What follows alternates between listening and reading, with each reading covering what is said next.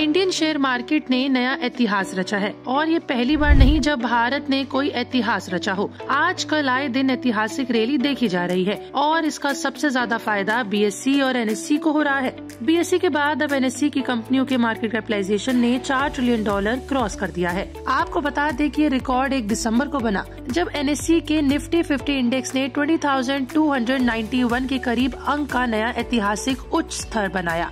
वहीं इसके साथ एक दिसंबर को निफ्टी 50 इंडेक्स के अलावा निफ्टी 500 इंडेक्स ने भी 18,140 के करीब के अंक का ऐतिहासिक उच्च स्तर बनाया था।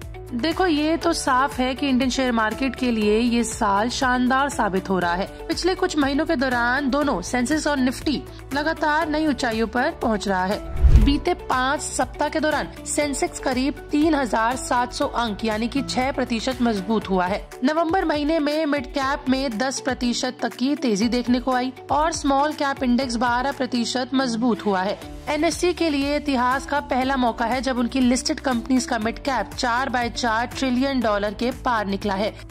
वहीं देखिए एनएससी और बीएससी की कंपनियों का मार्केट कैप ऐसे समय पे चार ट्रिलियन डॉलर क्रॉस हुआ, जब भारत की अर्थव्यवस्था का आकार भी चार ट्रिलियन डॉलर के स्तर को पार करने की दहलीज पर है। अभी भारत की जीडीपी का साइज़ साढ़े तीन से चार ट्रिलियन डॉलर के बीच है और भारत साल 2027 तक जर्मनी और जापान को पीछे छोड़कर दुनिया की तीसरी सबसे बड़ी इकोनॉमी बन जाएगा। और वहीं साल 2050 तक जीडीपी का साइज़ 45 ट्रिलियन डॉलर तक पहुँच सकता है। आपका इस पर क्या कहना है मैं कमेंट सेक्शन में लिख के बताएँ। अगर आपको हमारी वीडियो अच्छी लगी हो तो लाइक शेयर करना ना भूलो और हमारे चैनल पैसा लाइव को अभी सब्सक्राइब कर लें।